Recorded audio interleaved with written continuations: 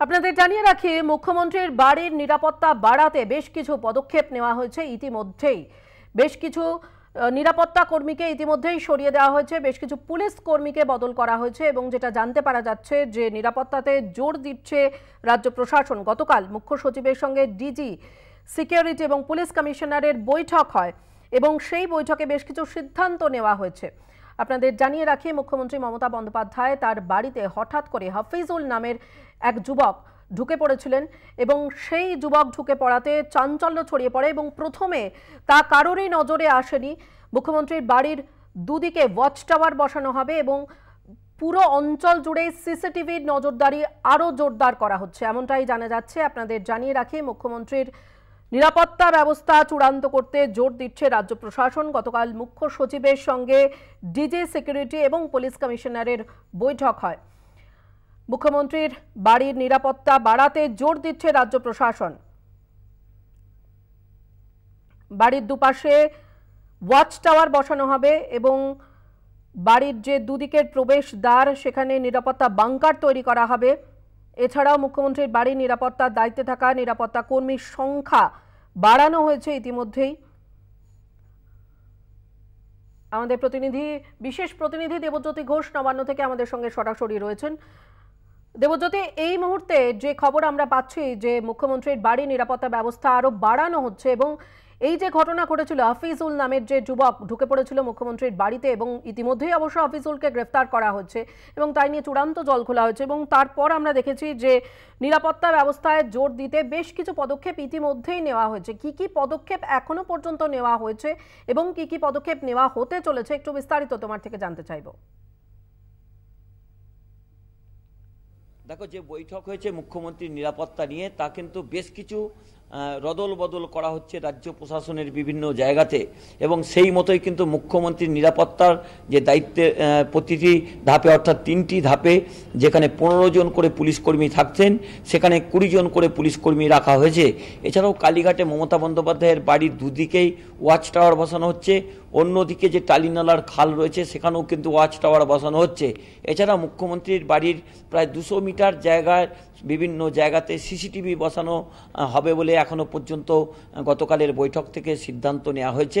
শুধুমাত্র একেবারে মমতা বন্দ্যোপাধ্যায়ের কালীঘাটের বাড়ি নয়, নবান্নতেও কিন্তু বেশ কিছু ব্যবস্থা নেওয়া হয়েছে। বিশেষ করে তেরো এবং চোদ্দতলা, যেখানে মুখ্যমন্ত্রী মমতা বন্দ্যোপাধ্যায় যা, থাকেন সেই জায়গাতেও কিন্তু নিরাপত্তা বলয়ে বেশ কিছু পরিবর্তন করা হয়েছে।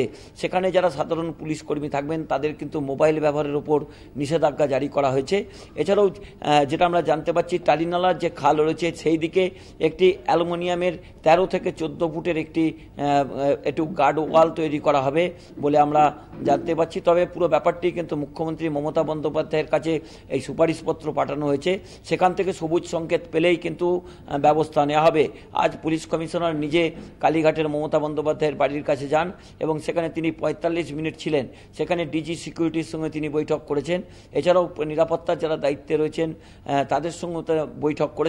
সেই বৈঠকে বৈঠকে যেমন কালীঘাট থানার ওসিও ছিলেন, তেমনি পুলিশের পদস্থ কর্তারাও ছিলেন, দক্ষিণ কলকাতার দক্ষিণ কলকাতার ডিসিও ছিলেন এবং সেখানে বৈঠকের পর থেকেই এই সিদ্ধান্তগুলি নেওয়া হয়েছে। তবে পুরো ব্যাপারটি কিন্তু মুখ্যমন্ত্রী মমতা বন্দ্যোপাধ্যায়ের কাছে পাঠানো হয়েছে। অর্থাৎ একেবারে ত্রিস্তরীয় নিরাপত্তা ব্যবস্থা করা হচ্ছে। যেমন সিসিটিভি লাগানো হচ্ছে দুশো মিটার জায়গা পর্যন্ত যা কভার করে। এছাড়াও মমতা বন্দ্যোপাধ্যায়ের বাড়ির প্রবেশের দুটি যে রাস্তা রয়েছে, সেই দুটি জায়গাতেই কিন্তু বাংকার তৈরি করা হচ্ছে। অন্যদিকে টালিনালার যে খাল রয়েছে, সেই খালের দিকেও একটি বাংকার তৈরি করা হচ্ছে। অর্থাৎ এই প্রাথমিক সিদ্ধান্তগুলি ইতিমধ্যেই মুখ্য সচিবের কাছে পাঠানো হয়েছে এবং মুখ্য সচিব সেই রিপোর্ট মমতা বন্দ্যোপাধ্যায়ের কাছে দেবেন এবং তারপর থেকেই সেখান থেকে সবুজ সংকেত এলেই নিরাপত্তা ব্যবস্থা কীরকম হবে তা কিন্তু ঠিক করা হবে বলে আমরা জানতে পারছি। দেবজ্যোতি, তুমি যেমনটা জানালে যে ত্রিস্তরীয়, একেবারে ত্রিস্তরীয় নিরাপত্তা ব্যবস্থা করা হচ্ছে এবং ইতিমধ্যেই মুখ্যমন্ত্রীর নিরাপত্তায় যে গাফিলতি রয়েছে তা কিন্তু জানিয়ে দেওয়া হয়েছে। কিন্তু কি কি গাফিলতি এবং যে কারণে ইতিমধ্যেই নিরাপত্তা কর্মীদের সরানো হয়েছে, বেশ কিছু পুলিশ কর্মীদের মধ্যেও রদবদল করা হয়েছে, এই বিষয়টা নিয়ে তোমার থেকে একটু জানতে চাইব বিস্তারিত।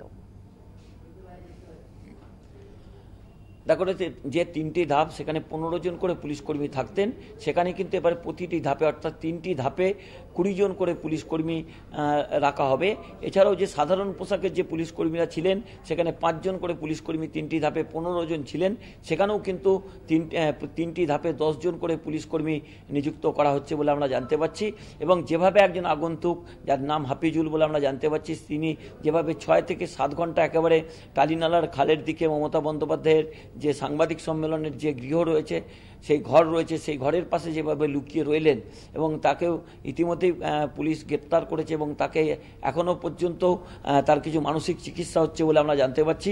তবে তবে পুলিশের পক্ষ থেকে যেটা জানানো হয়েছে, পুরো ব্যাপারটি কিন্তু মুখ্যমন্ত্রীর গোচরে আনা হয়েছে। সেখান থেকে সবুজ সংকেত পাওয়া গেলে তারপরে কিন্তু নিরাপত্তা ব্যবস্থা কীভাবে তৈরি হবে, নিরাপত্তা বেষ্টনী কীভাবে তৈরি হবে, তা কিন্তু ঠিক করা হবে বলে আমরা জানতে পারছি।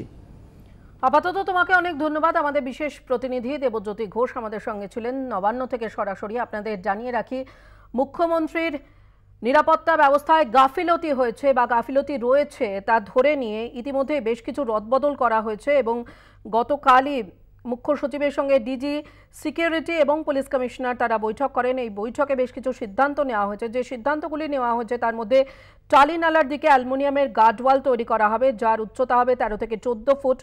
এছাড়া মুখ্যমন্ত্রীর বাড়ির দুপাশে টালিনালার উল্টো দিকে একটি ওয়াচ টাওয়ার বসানো হবে এবং মুখ্যমন্ত্রীর বাড়ির দুদিকে প্রবেশদ্বারে নিরাপত্তা বাংকার তৈরি করা হবে। এছাড়া মুখ্যমন্ত্রীর বাড়ির নিরাপত্তার দায়িত্বে থাকা নিরাপত্তা কর্মীর সংখ্যাও, যেখানে পনেরো ছিল তা বাড়িয়ে কুড়ি করা হয়েছে। সাদা পোশাকের তিন শিফটে দশজন করে নিরাপত্তা রক্ষী সবসময় থাকবেন। এছাড়াও কালীঘাটে মুখ্যমন্ত্রীর বাড়ির চারদিকে দুশো মিটার এলাকা জুড়ে সিসিটিভি বসানো হচ্ছে।